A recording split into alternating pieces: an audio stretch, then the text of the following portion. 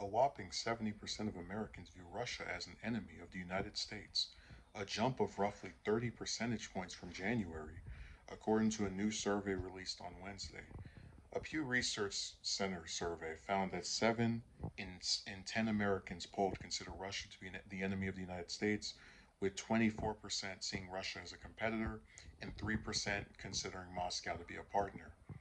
In January, in contrast, only 41% of Americans surveyed considered Russia to be an enemy, but 49% considered the country to be a competitor, and 7% seeing it as a partner. The percentage of Americans polled who see Russia as an enemy in Pew's latest survey is similar among Democrats and Republicans 69% of Republican respondents, and those leaning Republicans said they consider Russia to be an enemy, as did 72% of Democrats and those leaning Democrat. So that means both members of the two major parties in the United States think that um, have a majority of members who believe Russia is an enemy of the U.S. The survey also found that an overwhelming majority of Americans, 92%, hold unfavorable views towards Moscow, including 69 who have very unfavorable views and 23% who have very unfavorable views. Okay, that's I understand that. Um, so I instead of talking about because there's there's like a lot of ways you can kind of take this. I just want to say we, in January we actually were much closer to what my view is, which is that people are kind of ambivalent, but they still know that Russia is a competitor to the U.S. You know, like in the same way that China is a competitor to the U.S. Just another superpower that's trying to, you know, win out in oil and all these other um, global exploits. So I've never really considered Russia to be an enemy. I mean, let's look at their track record. The biggest thing before this year was the supposed meddling of Russia in the U.S. Uh, presidential election in 2016. You know, this collusion that people were saying occurred for Trump to get elected, and no proof was ever shown. Um, and it was just kind of, in my opinion, an attempt by Democrats to delegitimize the victory of someone they didn't like. Now, when you get to the invasion, you know, it's like, think of how crazy this is. Russia invades Poland, which I don't agree with. It's wrong. We've been over this a million times. Um, but for some reason, that has to do with the U.S. They invade Poland,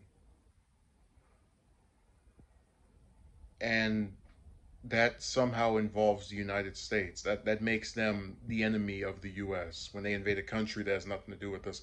And you gotta understand, by that type of logic, where we just pick fights with these other countries, we should be considered the enemy for a lot of people. You know, like take for example, um, what's good? What's a good example? Yemen.